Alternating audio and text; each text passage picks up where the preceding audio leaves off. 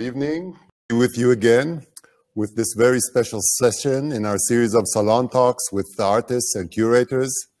Today, as we all know, we are with artist Antony Gormley, who has generously agreed to spend some time with us discussing his broad and fascinating insights about his artwork and about life. Um, before we begin, I want to go through a few technical details. I hope you all received and were able to follow the instructions we sent ahead regarding the online conference platform we're using for this broadcast. Uh, I see that we have uh, uh, over 80 attendees, so I think uh, it's a very good sign that people can, uh, can come in.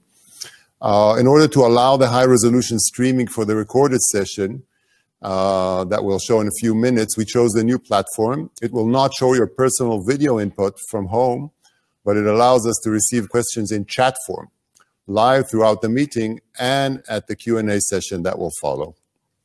We also have a pleasant surprise. We've arranged a transport of all of us to a Zoom meeting immediately after we finish this session, and we'll be more than happy to see all of you there for an informal discussion. The recordings for the conversation, as well as tonight's live session, are made under challenging technical constraints of the coronavirus crisis. Antony is in the relative isolation of the English countryside with beautiful pastures and low bandwidth. I am here in the Israel Museum, shut down, and with most of the staff at home. The warmth and diversity of the video quality you're about to see is a visual expression of these times. Now for the main content of the evening. I want to repeat how delighted and honored we are that Antony Gormley has agreed to join us this evening to talk about his work. And I'd like to thank Thaddaeus Ropac, co-chair of our Austrian friends, for making this meeting possible. Thank you very much, Tadeusz. Thank you. Um, Antony Gormley needs very little introduction. He's one of the world's most distinguished and acclaimed artists who has made a significant contribution to the way we perceive sculpture and the way we've been revisiting the sculpture of the human body. Antony's works are exhibited truly across the globe, New York, Shanghai, Western Australia, Paris, Florence, London, to name just a few, and Jerusalem, where we are the proud holders of Antony's lost subject, currently in the Bodyscapes exhibition, curated by our senior curator of modern art, Adina Kamien-Kazhdan, an exhibition which we hope to see reopening very soon, as soon as the Israel Museum uh, reopens or reopens its doors. Sir Antony Gormley was, has won numerous awards and has been knighted by Her Majesty the Queen in 2014 for services to the arts. But in my mind, more than anything else, he has touched the hearts, souls, and minds of millions of people around the world. Also significant to Gormley's work is the fact that he began his studies reading archaeology, anthropology, and the history of art, I believe you'll be able to perceive these aspects of his knowledge and curiosity throughout our conversation. Antony, um, good afternoon, good evening. In a few minutes, we'll hear you mention that you only meet a fraction of 1% of the people who will see your work, but that you feel that you're in conversation with these people, a silent conversation. So I like to think of our dialogue today as the audible extension of a silent conversation one that began many years ago when we first met through my exposure to your artwork. I, it would be wonderful if you could say a few words of greeting before we turn to our pre-recorded conversation. Antony, please. Ido, uh, everybody, friends of the uh, Israel Museum, Jerusalem, uh, this is an honor for me and a wonderful example of what can happen when adversity uh, results in new forms arising. Maybe this is a, a kind of uh, example of a mutation that may take us all closer to the idea of a, of a collective mind. And uh, I, am just delighted to uh, be part of this conversation. And I hope that after uh, you've seen the film, you'll all contribute to, uh, yeah, a wider discussion. Um, but I'm delighted to be here, Ido. Uh, thank, thank you. you. for inviting me. Thank you. Thank you so much. So our conversation today will weave around four separate outlooks uh, that we've singled out in Antony's vast body of work. uh, very briefly inwards, what Antony calls uh, the darkness of the body or the inner darkness. Uh, the second is looking at us from the outside, so a fresh view of ourselves. Outward towards the world, an invitation to see our environment built and natural in new ways. And maybe what could be could be called a participatory view, the way we as beholders of Antony's artwork become part of the artwork itself. So without further delay, I suggest we watch the conversation. I remind you to write your questions in the chat box on the lower right-hand side of your screen. And I'm taking the liberty of asking you to send us questions very freely. I've learned to appreciate Antony's curiosity and interest in receiving real questions from a real audience. Uh, so please enjoy. So hello, Antony. Uh, thank you so much uh, for um, agreeing to have this uh, dialogue today. Um, I want to begin with, um, with this notion of, of, of uh, where we're at at this moment in time. Uh, you have moved to the countryside in Norfolk, in England. I'm here in Jerusalem. And today we will touch upon four outlooks, four different viewpoints, if you like, uh, regarding your work. Um, the first is uh, a person's view into herself, into himself, uh, what you describe as the inner darkness. And I would like you to please um, uh, start a conversation relating to that particular um, uh, emotion, uh, observation, and of course, uh, a source of um, energy in your work as a sculptor. Well, um, Ido, thank you very much for inviting me uh, to have this dialogue, this disembodied dialogue, using using the, all the, the, the, joys and the frustrations of the digital uh, age that we live in. Um, I think it's good to start with this idea of uh, the darkness of the body. I think this is a, a space that we, we spend most of our lives escaping from. And yet, as a very young child, I was I, I was uh, yeah, forced to have an afternoon uh, nap. And I would, I would just lie there with my eyes closed and this red light through my eyelids would, would, would in a way exaggerate that sense of, of heat and claustrophobia.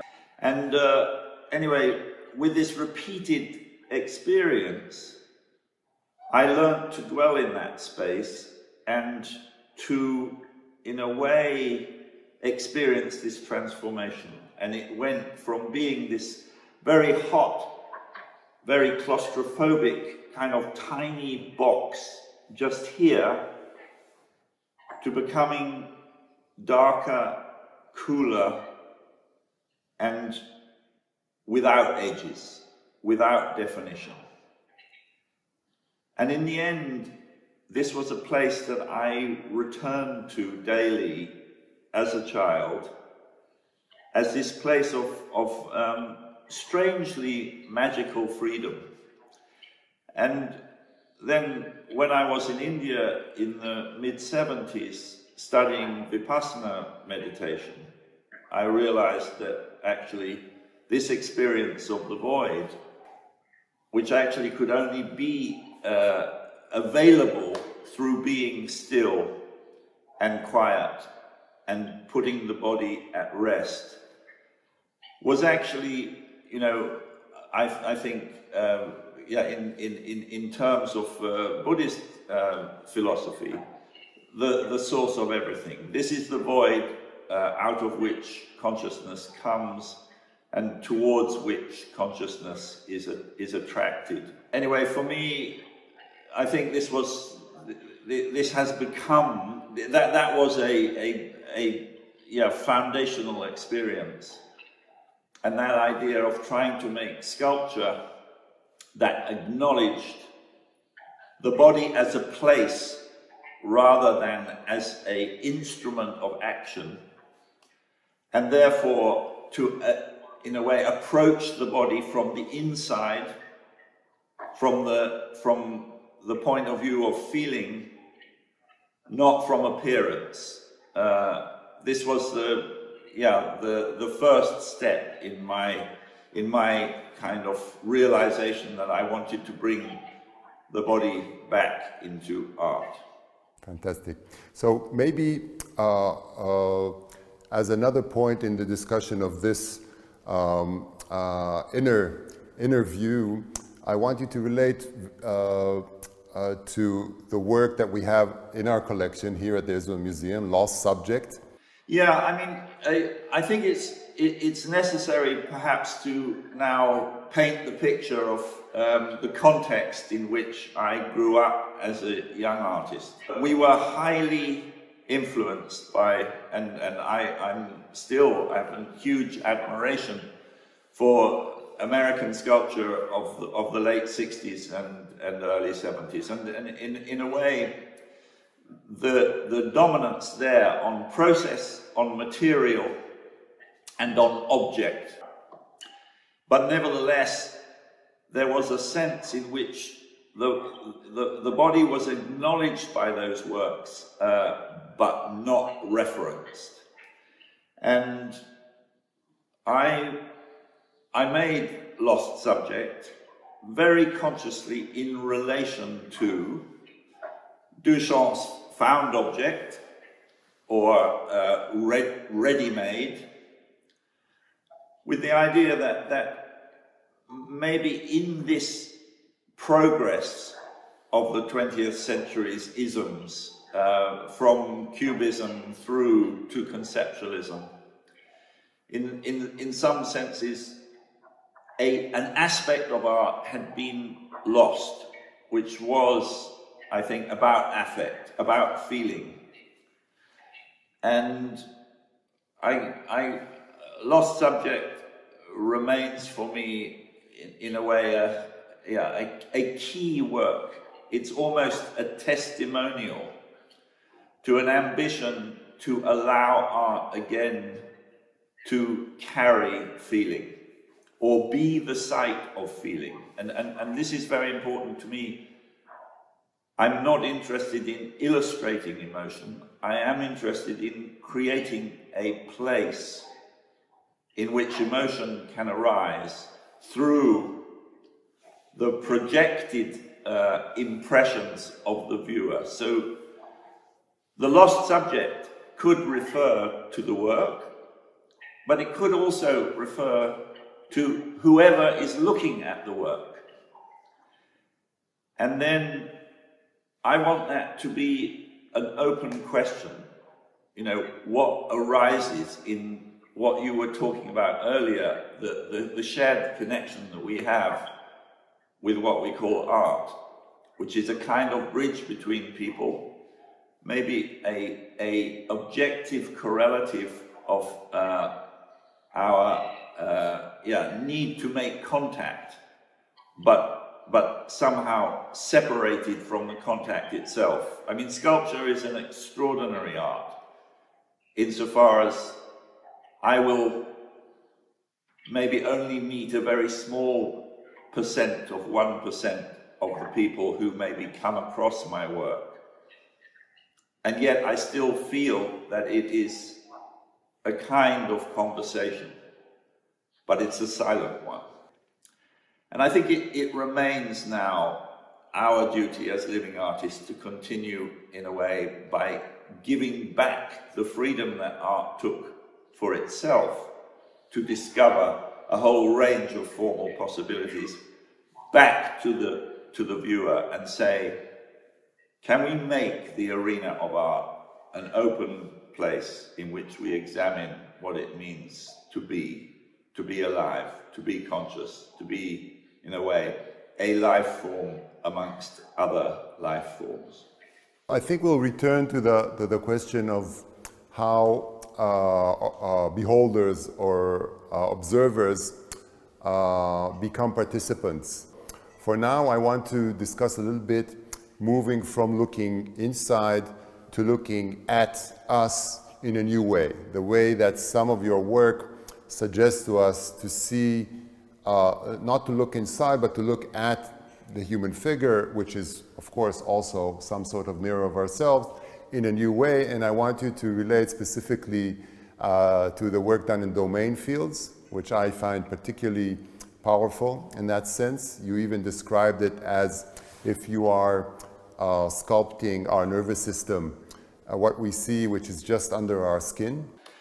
Yeah, this this idea of, uh, in a way, art as a as a form of of skepsis or a, an instrument for skepsis has been there right from the very beginning, insofar as the lead skin of lost uh, subject or any of the early lead works is simply saying, well, actually, this is an insulator.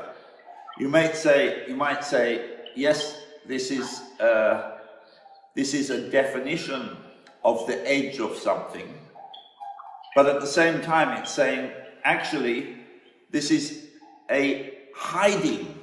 So there's a, the insulation is not about revelation as much as uh, actually just saying, well, maybe appearance is not reality. And the empty, you know, lost subject, one of the principal materials when you read on the label uh, its title is air. And it's very important to me that you recognize that this is a box that is empty that happens to be in human form. So the idea is really to, to, to be able to imaginatively transcend this barrier of the insulating skin of appearance and think about this interior. And, and I guess when you go on to the domains, at some, at some point in the trajectory of my work, yeah, I decided to abandon this obsession with the edge or uh, renegotiating the, the, the liminal edge of appearance and just say, no, well, a body is a temporary aggregation of, uh, of uh, mass and energy. So can we, can we somehow capture the bounding condition and then begin to describe, in a way, another system of trajectories within it?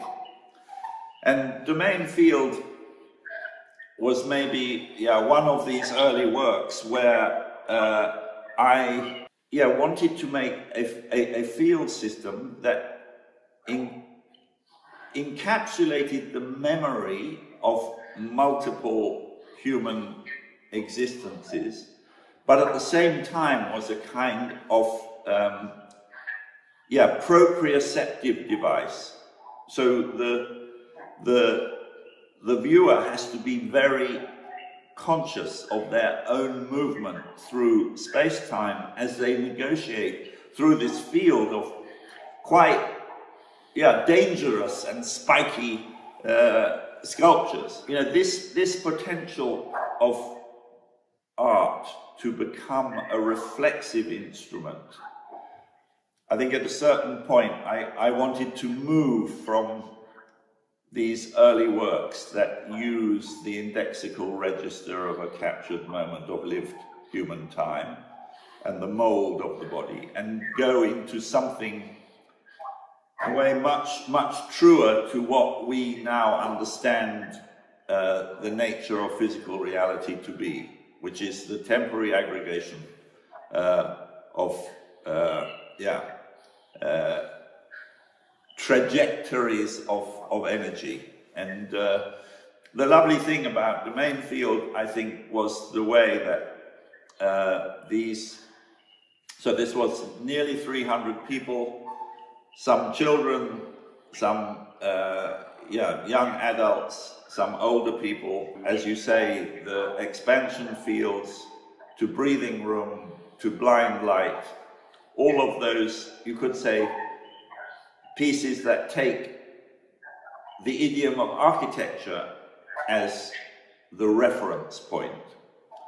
So the, I, I think of, of, of architecture really as the second body. We, we, we have a life, it's contained within the skin, but then we, we, we insulate the skin with clothing, but we protect it further by, by making these second skins of the walls and floors and ceilings of our habitat. And I, I've moved consistently from, as it were, the first condition of embodiment to the second condition of, you could say, uh, the, the, the making of shelter that, that constitutes architecture and played between the two. And that's what, that's what uh, yeah, expansion field is. It's, it's, it's talking about the place of individual life as also a kind of space station uh, uh, with the ability of infinite expansion. I want to move on to a third aspect or a third outlook of your work, which is the, the, uh, the type of work that um, allows us uh, a recess in time and says, wait a minute, take, take a minute, take a, a few minutes and, and look around you and perceive your environment in a slightly new way. And I chose two of your works that I find do that in a very beautiful way. One of them is maybe your most modest work, which is that beautiful witness chair uh, in the piazza of the, of the library, the British Library in London. Um, and uh, maybe we'll begin with that and then move on uh, uh to another work. So maybe you want to, to relate to that, that, that uh, action of, of uh, offering us um, a, a, a, stop in time and then a, a, new view of our environment, whether it's built or natural. Yeah, thank you. That's a, I'm really glad that you you know about that work. Um, I'd like to think that art itself is uh, a place in the world, but not of it, that allows us, in a way, to be released from this sense of work and obligation and that re, refounds us. In other words, gives us a foundation from which we can look in a, in a, in a sense outside of time. We live in such a causal and instrumental way that somehow we think that only action that has a result is valuable. And I think sculpture is such an important thing in a digital time where mass communication at very, very high speed uh, affords us imagery that changes uh, in nanoseconds. Sculpture is a relatively still thing in a moving world that is seems to be moving, you know, apart from this time now, this precious time of, in a way, isolation, but also of having time. Uh, yeah, the, the world, once it cranks up again, I hope it won't be quite so manic as before. Um, but sculpture, for me, is offers this place of stillness and silence from which we can look both inside our own experience and out at the world that surrounds us. And the witness chair was, was uh, paid for by PEN. Uh, yeah, the, the the amazing organization that protects the freedom of speech and the right of uh, yeah, sensitive individuals to publish their perceptions of a wider world. And I thought the, the, the most important thing is um, somehow just to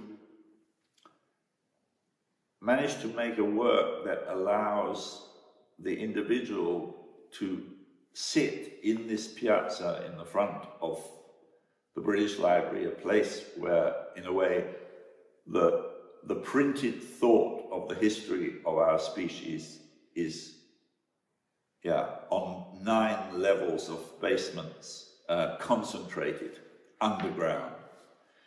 And, uh, and look back out at the piazza, hear the noise of the traffic on Euston Road, be aware of the condition of light, and just take a moment, in a way, out of this world of action and doing and obligation. And I, I guess that, you know, that, that's an example of what I would like to think that all of my work offers. Uh, a, a place, a place to think. Yeah. Um, now, from, from that perspective, how would you uh, how would you describe the similarities and differences between the witness chair and event horizon, which is in some ways to me seems like looking at, at something very similar, but of course expanding in this uh, in this uh, um, how they say me metropolitan scale um, uh, into into the big cities. Please. Yeah, I mean, uh, Event Horizon, I, I always, uh, yeah, characterize as a, a, kind of acupuncture of collective space. So, you know, the work is derived from uh, 23 um, individual um, moldings of, of, of my body, then made into iron and fiberglass. I think of them as, as yeah, they're, they're industrially made fossils of a, of, a, of a particular example of a particular species of life form. And then I put the four iron ones on the ground and I put 27 on the skyline, on, on what for city dwellers becomes the replacement of a horizon. That bit where the built world stops and infinite space starts. And the interface between the two is simply asking, and, and, and, and what, what is this uh, human life form? And where, where, where do we belong? Uh, I, I think that the, the Tibetan Buddhists have a wonderful way of talking about nakedness as sky clad. And this is, you know, for me, this is what this is not about the nude. It's not, you know, the, the nude in, in, in, you know, Western art anyway, has been, in a way, a, yeah, a subject of the male gaze, uh, a kind of idealization of the erotic. Um, and I'm not interested in that at all. But I am interested in bare life and asking what is a life. And I suppose, yeah, for, for me, this uh, interface between the bodies that you bump into on the, on the sidewalk, I'm thinking now particularly of the installation in New York, and then the sight of this naked, vulnerable, human scale uh, object in relation to the sky or space at large, and then in relation to the world that we have made out of an elemental earth. The question of scale and the question of size, which are two very different things, uh, is not something that I feel that I have much choice about. Um, all the uh, event horizon simply uses human scale. I mean, this was this is, uh, as it were, the subject turned into an object, which is then littered like confetti around a city. And uh, and the, the issue for me then is that this this human scale that is not like most of the monumental sculpture that we know from history, but what it means is it puts our scale into space-time reference. And this for me, so the relative position of the moving viewer in this field of fixed objects, some of which are, as it were, at the artificial uh, horizon of the skyline, and some of which are on the ground right next to you,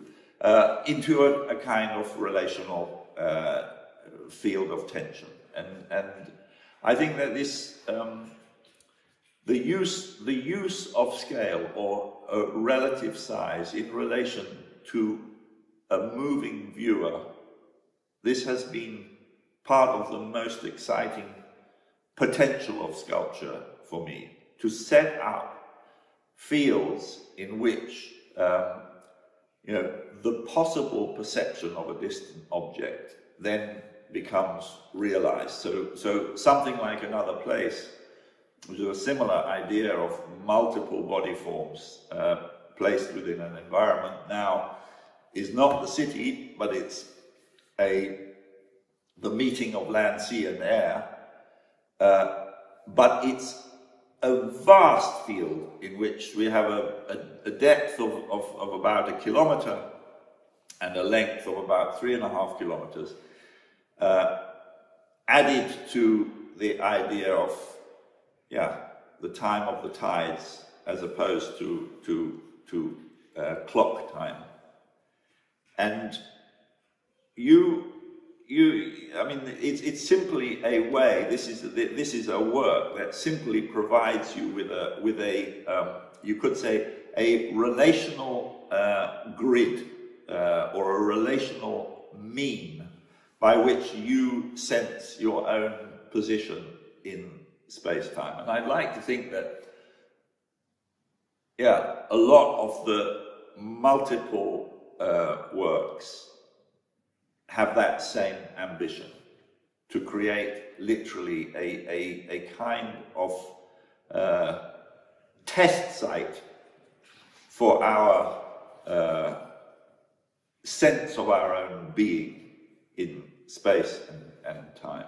Okay, so the, the, the fourth outlook I want to discuss today, uh, the beholders becoming part of the artwork. This is, um, I think, a, a, part of the works you've been doing. I'll mention a number of, of examples, especially Passage at the Uffizi, uh, Cave at the Royal Academy, and uh, the beautiful work in the Thaddaeus Ropac Gallery that uh, opened just uh, as the Corona crisis uh, began and, and immediately closed this line, beautiful line in space. And the other, of course, it's called Run 2, and, and um, the, the, the second thing that happens there, it's not only that we become participants, observers, you know, moving, sort of pulsating between these two positions, but also it is testing our habits, our perceptions.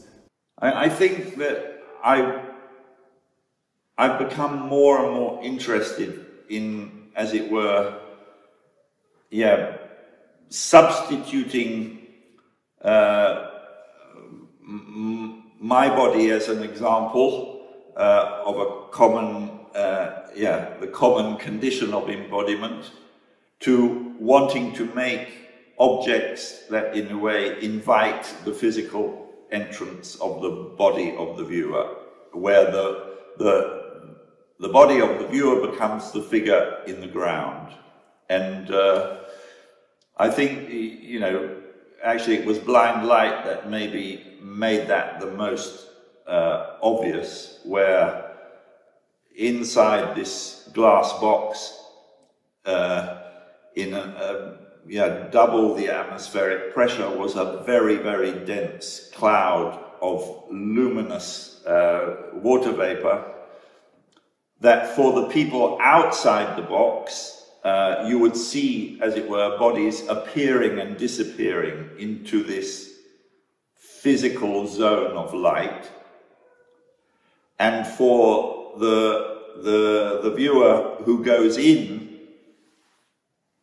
through this permanently open threshold, they experience the loss of a sense of uh, objective self. So even if you have your hand in front of you, uh, you can't see it.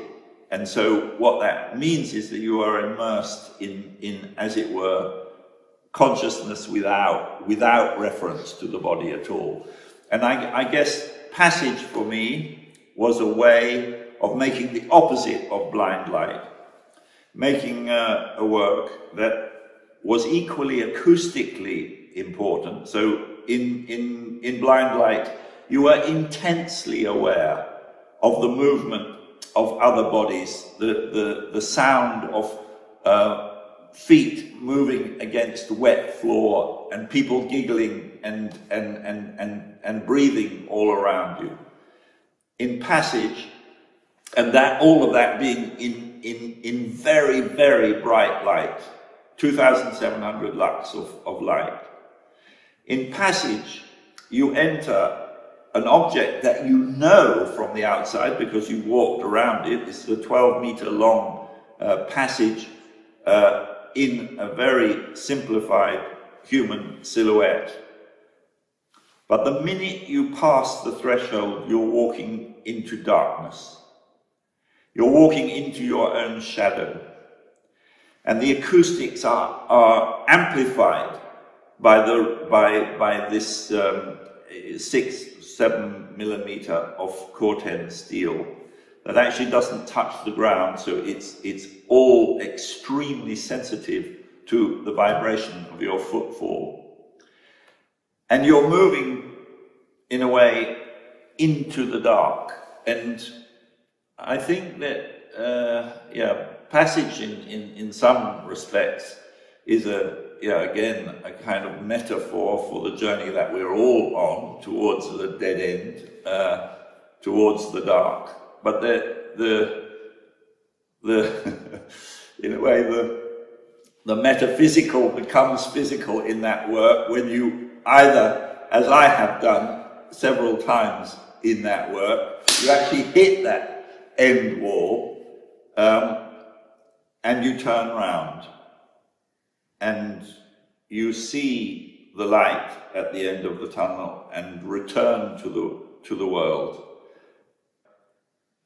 It's interesting that the, you could say that I'm constantly trying to find uh, ways of both containing and at the same time liberating uh, us from uh, our preconceptions and our unconscious manipulation by the environments that we live within. Um, I don't know who, who came up with this phrase, but, but you know, we make a world and then the world makes us. We make a habitat and the habitat begins to enforce habits and modes of connection, of living, of, of, of thinking and, and, and communicating that maybe we don't, we are not conscious of. And I guess that, you know, to go from passage to, uh, to run to, I talked about acupuncture in terms of event horizon, in terms of trying to make a kind of acupuncture points for a whole city. I think that Run 2 attempts to do acupuncture points for the built world, for, for, you know, try, trying to use the space, the enclosed space of a gallery as a, a kind of uh, test case for the way in which our environment uh, affects us and gives us choices. And on the one hand, uh, gives us, uh, yeah, a certain freedom of movement, but also exercises control. And I think then you asked about, about cave.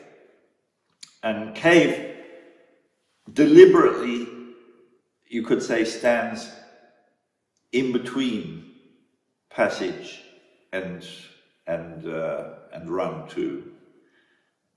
Here is within certainly the way that it was uh, shown first and the space that it was made in, which was Gallery 8 of the Royal Academy, a very ornate, grand room uh, in kind of Renaissance European uh, style. I wanted to bring the language of modernity, so a highly orthogonal cubic, uh, yeah, volumes, but disrupt them. The dialogue between, as it were, the grandeur of, of uh, yeah, palace architecture, in which the human, again, in terms of scale, is, is, is, is invited to feel great and important and powerful. And for me, this, I call this work Cave because I wanted to reconcile, as it were, the, our idea of the primary shelter, which is, I think, part of our limbic system, part of our, in a, in a way, our, our the, the, formation of our fundamental relationship to enclosed space, which is also related to, to our experience of, of the birth canal and of, I guess, our, our, the, the first passage that we, that we come into the world through. Anyway, from this very tight enclosure, which is actually the left foot of a lying body form that you can't ever really see in total because it's been squeezed into this, well, relatively large room because it's uh, yeah, nine meters wide by 12 meters long. But you, you end up going down the left, the left leg and then you enter this very large space, which is really the torso uh, and pelvic area of the body, and can look up uh, towards the light um, that comes from the, from the head and down one knee. I wanted cave to be the, the, the precursor of this then experience of host, the bringing in of the outside 50,000 litres of, of, of the Atlantic brought, you know, onto the first floor of Piccadilly, um, uh, remove, removed all of the lights, mixed that seawater with uh, 25 tons of, of uh, Buckinghamshire clay.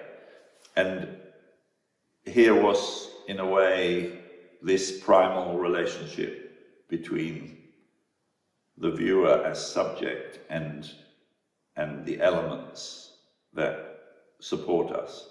Unfortunately, we have to, uh, this dialogue has to come to, to an end. But I want to read to you something that you said to me about one of your works, but I think it's, it, it's possibly it's relevant to all of your work and maybe to all of our, our uh, of, of, what we do in the world. I'll read it, I'll read it to you.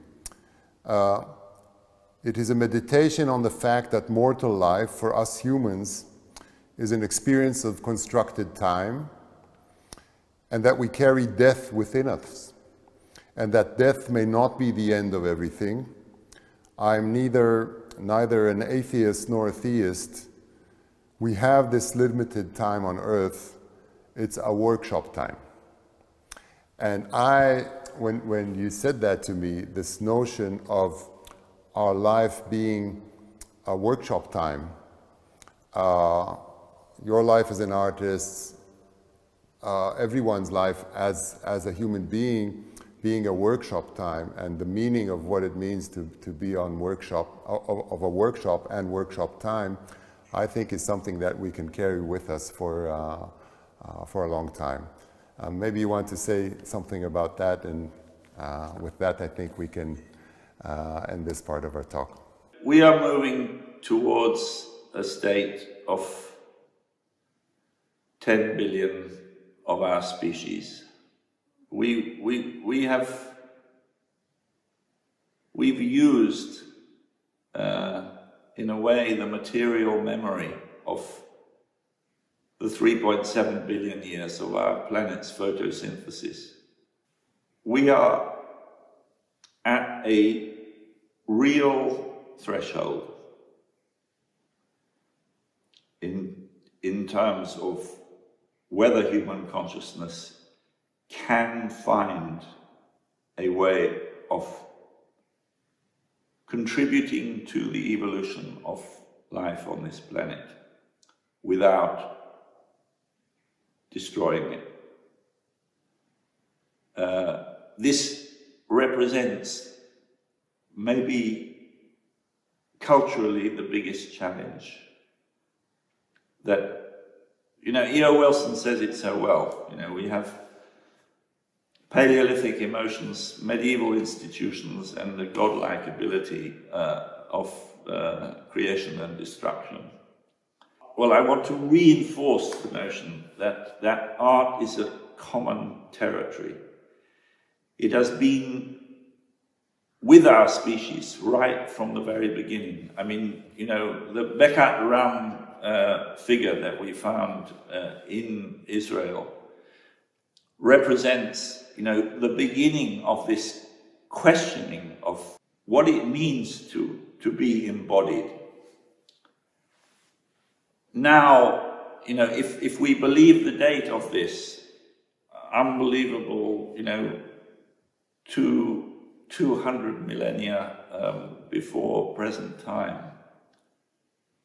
uh, you know, we are now at a at a place in terms of the evolution of life on this planet, where we have a we have a critical, uh, in a way, decision to make about how consciousness will evolve and whether we can live sustainably.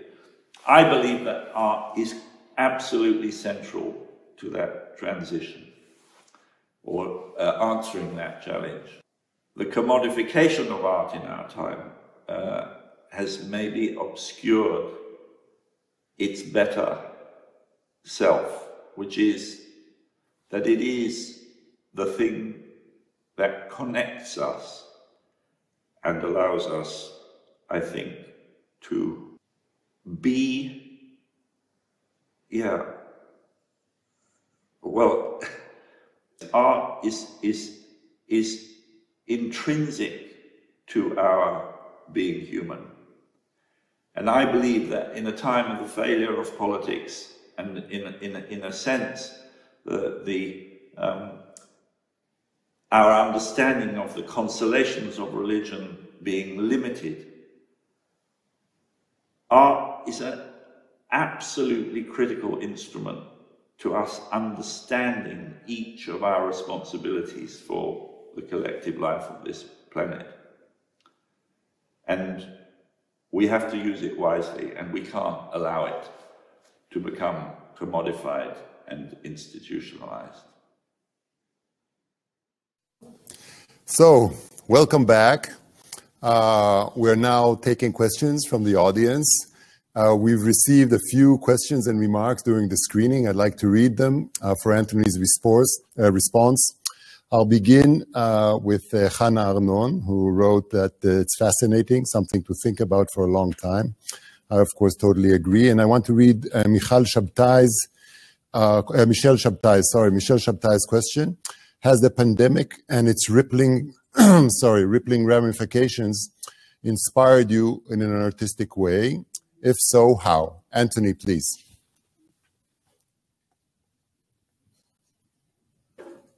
thing for the for the camera. Hello?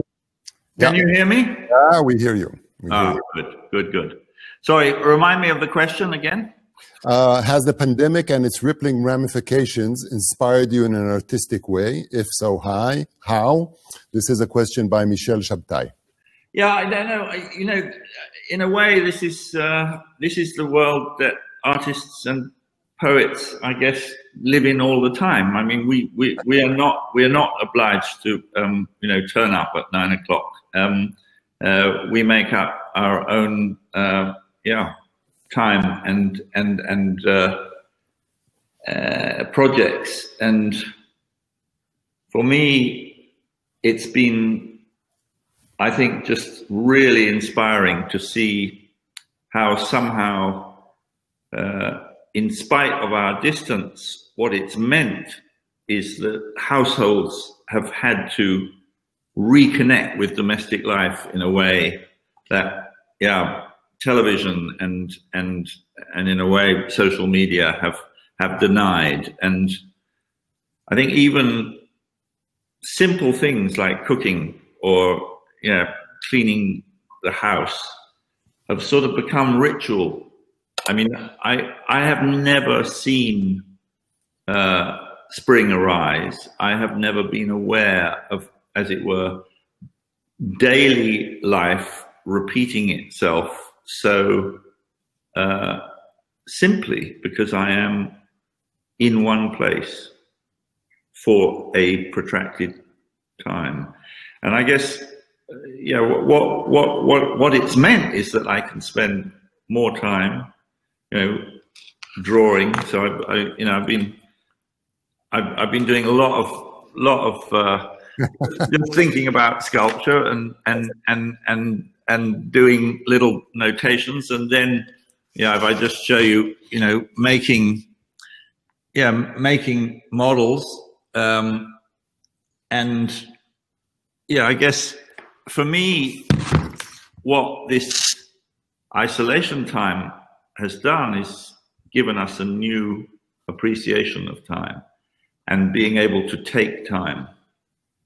And I think that's a lesson. I think that we have to use this time in a way not to return to the grinding world of late capitalism and uh, and and all its obligations. Thank you, Antony. We have two questions, uh, one from Ronald Katz and one from Carol Simmons regarding your sculptures on the island of Delos. Uh, um, one is just a, a, request for a comment, but Carol is asking where have they gone to?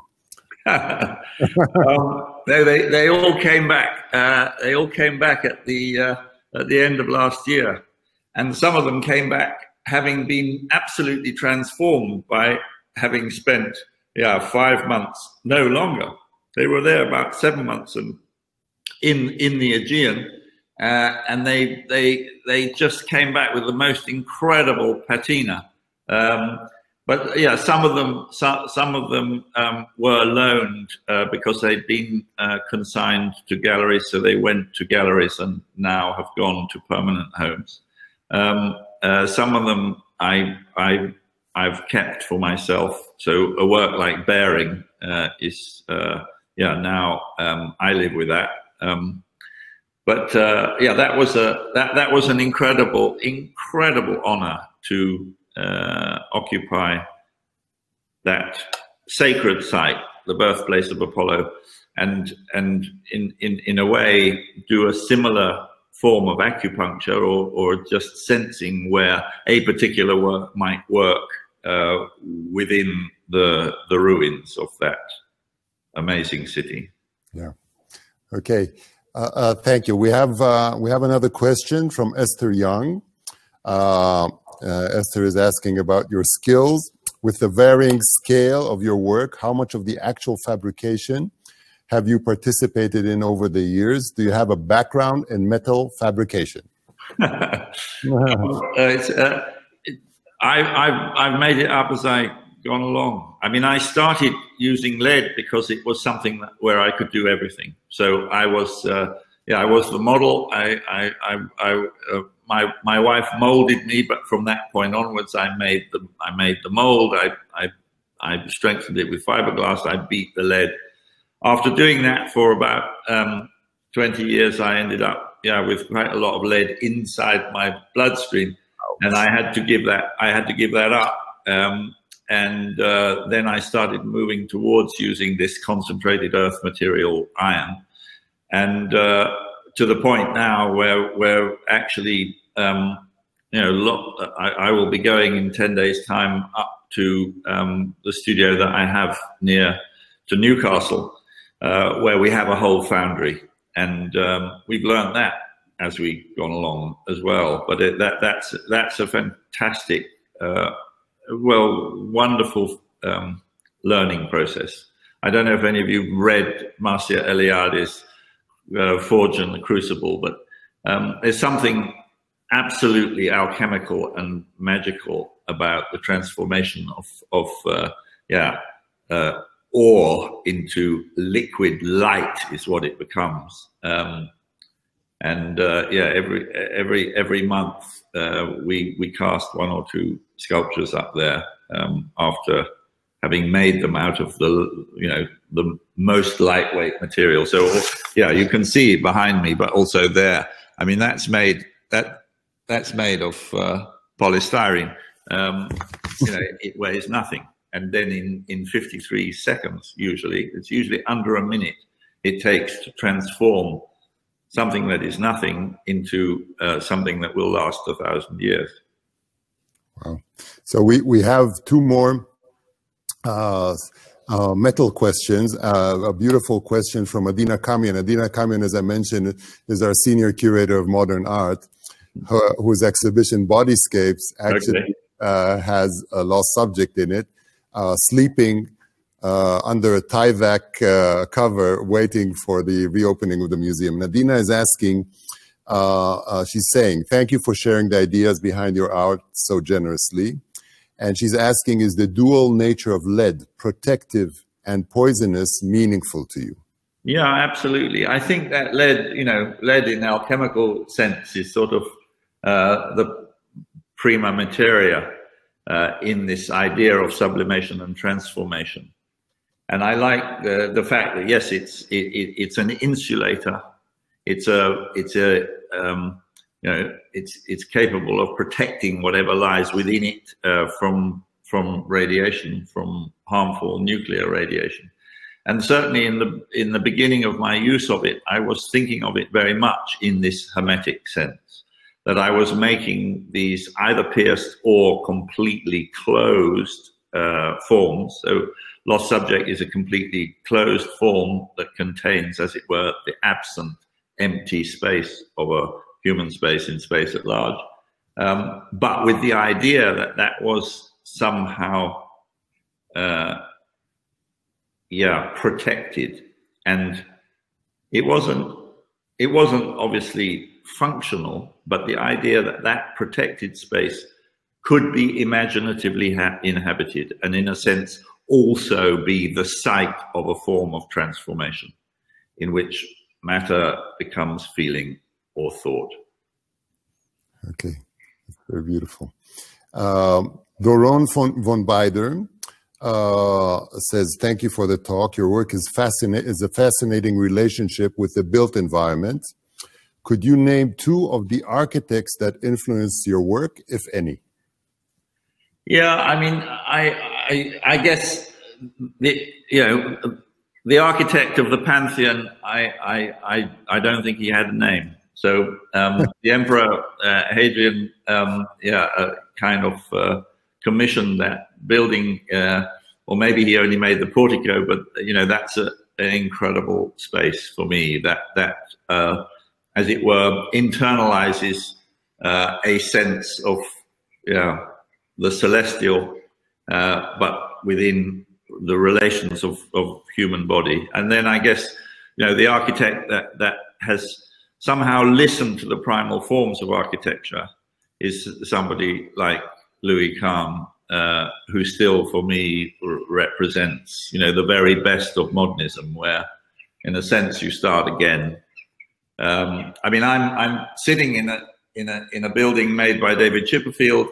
I, I've, I've worked with him. He built my studio in London uh, I think that he's an inheritor also of a, of a sense of space, mass, and light that he shares with Louis Kahn and also with the, with the Pantheon. There's a there's a sense of uh, architecture belonging to the ground, to being being as it were connected, rooted to the ground.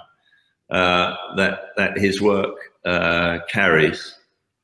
You know, there was a time, you know, I guess in early modernism with Corbusier's pilotis that everything had to leave the ground. And, and actually, I think that good architecture, in fact, relinks you with the ground. Yeah. Thank you. Thank you so much. So maybe one more question. Um, Mr. Davide Blay, who is the president of our Italian friends, is asking Mr. Gormley, do you follow the Feuerbach philosophy? Uh, you have to tell me what the Feuerbach. I, I, I'm I'm aware of the of the of the man, um, but I I'm afraid he he has to explain. Okay, well, maybe you will write to us. uh, okay, I think I think um, I think we're we're near the closing of this of this evening. We'll see if Davide writes us a little more a little bit more in a second. I want to thank uh, the team who managed the production under the constraints of time and technology, and they were quite heavy. Uh, there are too many names to mention individually, but I wanted to to uh, say two very special thank yous. One to our acting Chief Curator of Fine Arts, Sylvia Rosenberg, for her precise, uh, uh, precise work and, and devotion, which was really exceptional. And Rachel Shaul, Director of International Relations, who guided this complex production to the shores of safety. Uh, thank you very much. And of course, I want to thank Antony, uh, Antony with all my heart. Uh, this is not uh, not trivial. I really appreciate the time and the patience and going through all the uh, various uh, technical issues that we had to go through. And I hope that everyone enjoyed this conversation as much as I did. Uh, in a few seconds, everyone will see on the screen a button, which uh, if you push it, it will transport you uh, into a Zoom meeting where we can all see each other uh, and talk. I think we have to allow Antony to have his supper, which he hasn't had yet. And so we'll, we'll what about your supper, for heaven's sakes? we'll say a big, big thank you. And uh, we hope to see you again next time live, physically live in the Israel Museum in Jerusalem. Uh, and um, we'll we'll find the right uh, opportunity and a very good excuse to bring you over and enjoy uh, this type of discussion. This time in a more cozy and and physical uh, environment. Yeah, I have to say that was very uncomfortable for me. It felt so slow and so um, well. We were we were very distant digitally and everywhere else, and I really look forward uh, and every form else. I really look forward to uh, to being with you in the flesh. Okay, thank you, thank you so much. Thank, you. thank you. you, Ido. Thank okay. you. Bye bye. Thank you. Bye bye.